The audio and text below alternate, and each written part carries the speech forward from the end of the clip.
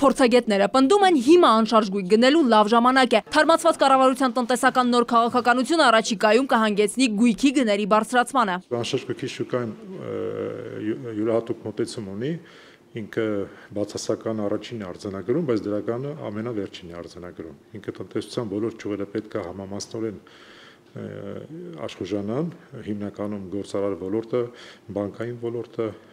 հարկային իրական բարեփոխումները, մաքսային իրական բարեփոխումները։ Անշարժ գույքի գործակալությունների կայքերում հազարավոր հայտարարություններից երևում է, որ անցած տարվա ընթացքում գրանցված գնանկումը փոխվում է կայունության գների նվազումը կանգ է առնված եւ տարվա ընթացքում մենք նախատեսում ենք մոտ 3-ից մոտ 5%-անոց աճ ամբողջ տարվա կտրվածքով այս տարվա համար։ Մյուս տարի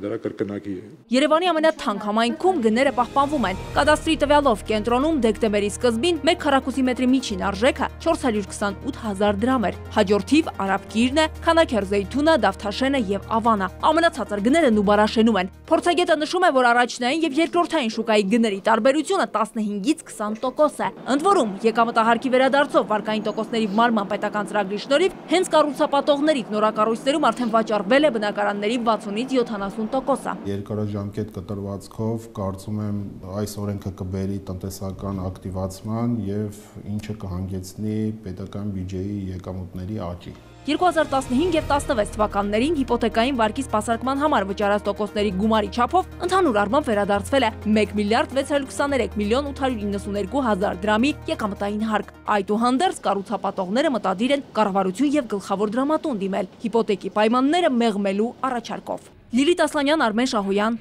ժամը լրատվական։